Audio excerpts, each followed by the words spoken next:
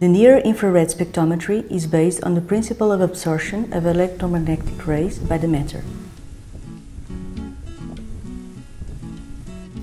This technology has many advantages. It is a fast, non-destructive and eco-friendly analytical method.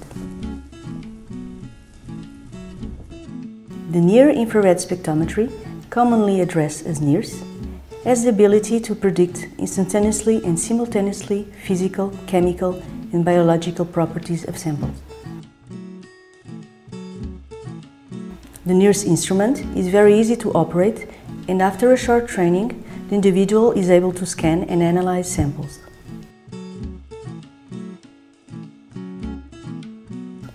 However, the use of NIRS as a prediction tool needs a, preliminary step of calibration based on wet chemistry analysis and the development of models to relate the spectral information to the component of interest.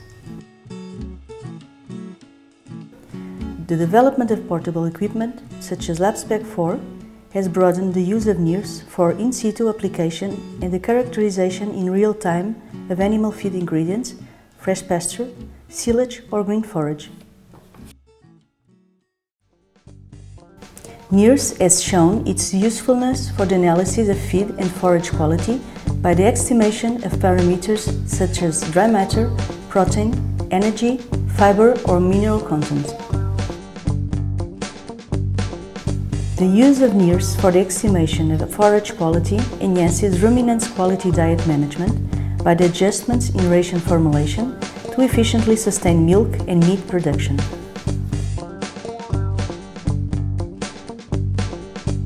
NIRS field scale applications can also be developed to quantify the nutritional value of the diet consumed by animals during grazing and to improve the rational management of grasslands in real time.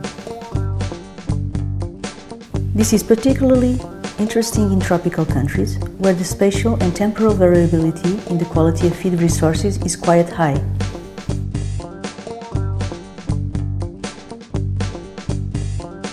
NIRS could also be used for the prediction of other resources, such as the soil or the animal organic matter. CIRAD a French agricultural research organization working with developing countries to tackle international agricultural and development issues, supports and assists several master and PhD students on the use of NIRS to estimate the composition of forages and animal organic fertilizers and soil fertility.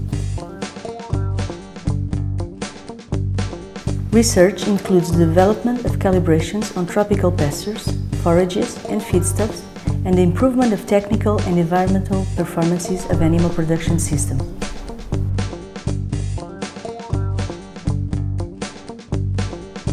The NIRS approach makes the management and use of natural resources more efficient by enabling determination of various chemical constituents, of feedstuffs and some biological parameters such as nutritional value of feed resources.